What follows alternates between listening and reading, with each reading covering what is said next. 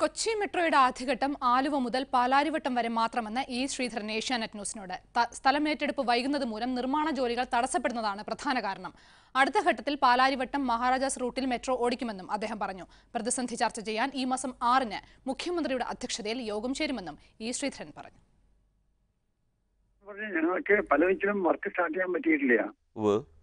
Nearly പലതിലും work start ചെയ്യാൻ സാധിച്ചില്ല. ലാൻഡ് കിട്ടാനായിട്ട്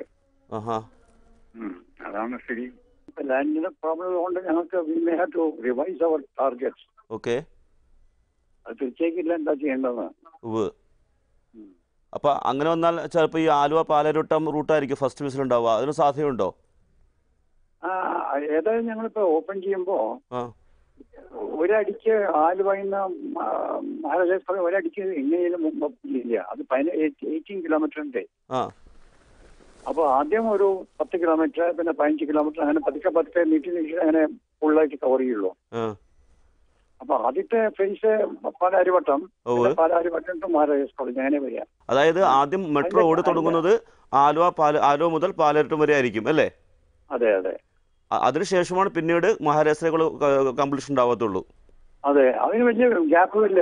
രണ്ടോ രണ്ടോ മൂന്നോ മാസത്തിലും ഗ്യാപ്പേ വരുള്ളൂ. പാലാരിവട്ടം നിന്ന് മറ്റേടയ്ക്ക് ആ. അതിന്റെ കാരണം എന്ന് പറയുന്നത് ഈ പാലരുട്ടം മുതൽ മഹാരസ് വരെയുള്ള അക്വിസിഷൻ കംപ്ലീറ്റ് ആവാത്തതുകൊണ്ടാണ് സീൽ വർക്ക് കംപ്ലീറ്റ് ആവാത്തതുകൊണ്ടാണ് അല്ലേ? ആ പലതിലും വർക്ക് സ്റ്റാർട്ട് ചെയ്യാൻ പറ്റിയിട്ടില്ല. പതിനഞ്ചിലും ഇത് കിട്ടിയിട്ടില്ല ഞങ്ങൾക്ക്. ലാൻഡ് കിട്ടിയിട്ടില്ലേ? ലാൻഡ് കിട്ടിയിട്ടില്ല. അതുകൊണ്ട് മാത്രമാണ് അതായത് ഇവിടുത്തെ ആ ലാൻഡ് അക്വിസിഷന്റെ പ്രശ്നം മാത്രമാണ് ഈ ഡിലേ വരുന്നത് അല്ലേ? അതെ അതെ. അതുകൊണ്ടാണ് ഡിലേ വരുന്നത്. ലാൻഡ് അക്വിസിഷൻ വൈകുന്നതിന് കെ എം ആറിലെ എന്ത് എക്സ്ക്യൂസ് ആണ് പറയുന്നത്? ലാൻഡ് അക്വിസിഷൻ ആക്ട് തന്നെ മാറിയല്ലോ. അതൊരു പ്രശ്നമായി. പിന്നെ പുതിയ ആക്ട് പ്രകാരം അതിന്റെ റൂൾസ് ഇനിയും പബ്ലിഷ് ചെയ്തിട്ടില്ല. ആ പ്രശ്നമായി. പിന്നെ ഗവൺമെന്റിന് അവർ ഓർഡർ മേടിച്ചു ഡയറക്റ്റ് നെഗോഷിയേഷൻ ലാൻഡ് എടുക്കണമെന്ന്. ഓക്കെ. ആ അതാണ് നടന്നുകൊണ്ടിരിക്കുന്നത് ഇപ്പോ. ഡിസ്പ്യൂട്ടുള്ള കേസുകളിൽ ഇപ്പോൾ ഡയറക്റ്റ് ഡിസ്കഷൻ നടന്നുകൊണ്ടിരിക്കുകയാണ് അല്ലേ? അതെ അതെ. ഓക്കെ അപ്പോൾ ഇതെല്ലാം ഡിലേ ആയി. അത് കാരണം ഡിലേ ആണ് ഓക്കെ. പിന്നെ പണത്തിന്റെ പ്രശ്നമുണ്ട് അവർക്ക്.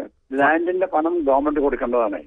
കേരള ഗവൺമെന്റ്. ഓക്കെ. ആ പണം കിട്ടാൻ ആ പണം കിട്ടാനായിട്ട് ലാൻഡ് ലൊക്കേഷൻ ഡിലേ ഉണ്ട് അപ്പോൾ നിലവിൽ ഈ ഇഷ്യൂ കൂടി അന്ന് ആറാം തീയതി ഡിസ്കസ് ചെയ്യുമല്ലേ ഈ ഫണ്ടിങ്ങിന്റെ ഇഷ്യൂവും ലാൻഡ് അക്വിസിഷനും അല്ലേ? ഉണ്ടാവും ഉണ്ടാവും ഉണ്ടാവും.